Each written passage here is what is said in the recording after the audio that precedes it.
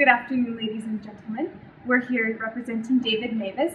My name is Julie, and this is my partner, John, and we're here today to talk to you about BioVail Corporation. So first of all, we're just going to go through a quick agenda.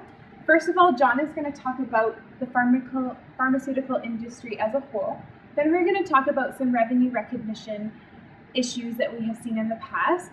Next, we're going to talk about channel stuffing, legacy products, and we're going to wrap it up with share profitability analysis and then con- conclude with some final thoughts. So I'm going to pass it off to John to give an industry analysis. Thanks, Julie.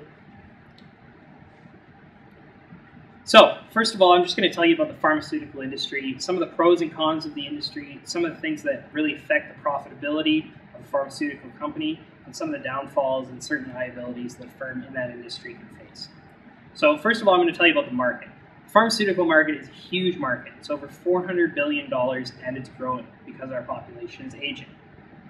One of the most successful and critical factors in the pharmaceutical industry is the development of patents. Patents are essential for pharmaceutical companies. What they allow them to do is take all that time they've invested in research and development fees and make it into a product that they alone can market and sell at a certain price. Nobody else can produce this product or they face they could face certain liabilities such as a lawsuit. Now this really gives a certain stream of revenue for that company over a set period of time. But unfortunately, after a certain amount of time, that patent is over, and this um, creates the involvement of generic pills. Now, these generic pills or patents uh, or generic products don't have any patents involved with them, so they are free for anybody to make. So this is kind of a downfall because you, they can no longer depend on that revenue stream. Another problem with this industry is that there's a huge commitment of uh, research and development uh, money that must go into developing these patents. We've seen this industry has had some trouble in the past with capitalization of certain things that should have been expensed. For example, uh, lots of research and development costs towards a certain pill, but then nothing coming out of it, and they've capitalized that when it should have just been expensed. That affects their balance sheet and their opinion as an investor of that company. Finally, another um, con to this industry is that it's highly regulated by the government.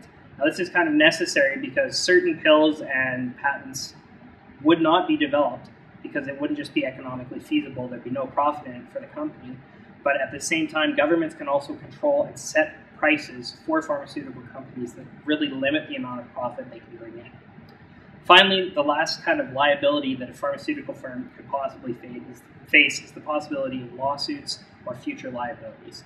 Yes, these products go through extensive testing, but there's always that off chance that there could be a failure down the line or somebody could face a lawsuit in the future. So I'm going to show you a few um, issues that we found with BioVail as a whole. So one of the things I want to talk to you about is called revenue recognition. There's two types of revenue recognition uh, when you ship products to a distributor or a supplier. One of these is called FOB shipping, and the other one is called FOB destination. FOB stands for free on board. So on free on board shipping, as soon as you ship the product, you recognize the revenues. For free on board destination, you do not recognize the revenues until they have reached the destination. So in the case of BioVail, they faced an unfortunate accident in September where their truck um, collided and they lost some of their profit. Now they had already recognized this profit, so that was realized as free onboard shipping when it should have been realized as free onboard destination. I'm, now I'm going to pass it off to Julie, and she's going to tell you a little bit more about revenue recognition. Thanks, John. So as John mentioned, uh, when the accident occurred in September, BioVail did uh, recognize that revenue as free on board shipping, so they recognize it at the moment that it's shipped off. Um, now, he, we don't agree with that. Uh, the contract was to be FOB destination, and so they should have not reported that revenue at all because it never reached the customer. But also, they did overstate their revenue as well. BioVail claimed that there was 10 to 20 million dollars worth of revenue in the truck. We actually did some calculations, as you can see on the screen, and we actually discovered that there was only about 4.4 million dollars worth of revenue. And that's a really big red flag for investors such as yourselves, um, because as investors, you want to know that the company is reporting fairly to you and that you are getting an accurate representation of what's actually going on in the company. If a com- if is saying that they're um, recognizing more revenue than they actually are, that's going to show you that they're being more profitable than they really are, and that's dangerous to you as an investor. We're also, I also want to talk to you a little bit about channel stuffing. Now, channel stuffing is an issue that we see with in a lot of different distribution firms and the pharmaceutical industry in general as well. Now, what channel stuffing is, is uh, shipping off a lot of product to a distributor when that distributor doesn't actually need it. So BioVail can ship off a bunch of product and recognize that revenue when there's not actually a demand for it. And therefore, they can recognize a lot of revenue when really there's no demand for that product or a little demand for that product. And so that's also dangerous because they're stating a lot of revenue when really they shouldn't be. We're also, I also want to talk a little bit about legacy products.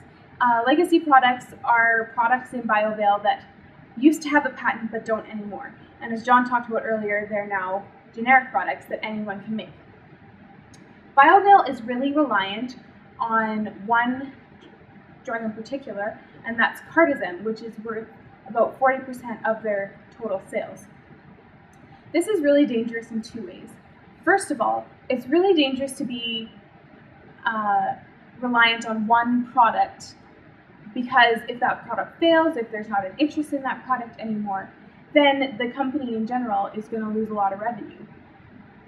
The other reason that it's dangerous is because it's not, it doesn't have a competitive advantage anymore. Anyone can make this product, and so as a pharmaceutical company, BioVail should be looking into products that can actually, uh, that they can actually patent and make a lot of money on. And as we noted, research and development costs have actually been going down, and so it shows that they're not as being as focused on finding new products, they're just relying on these legacy products, and that's really dangerous.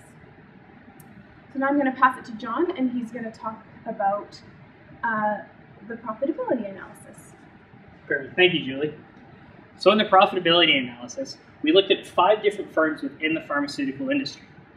The firm that came the closest to BioVail in terms of assets and liabilities was the firm Teva. Now, just to, we've only looked at two ratios. This is just a quick analysis of it. The two ratios we looked at were earnings per share and change in share price. So earnings per share is calculated basically by taking the net income of the company and dividing it by the number of shares outstanding. And the change in share price is taken by taking the share price at the end of the year, subtracting the share price at the beginning of the year, and then dividing by the beginning share price. So as you take note, BioVail's earnings per share is only 39 cents, where Teva's was $1.16. It's a big difference for similar sized pairs.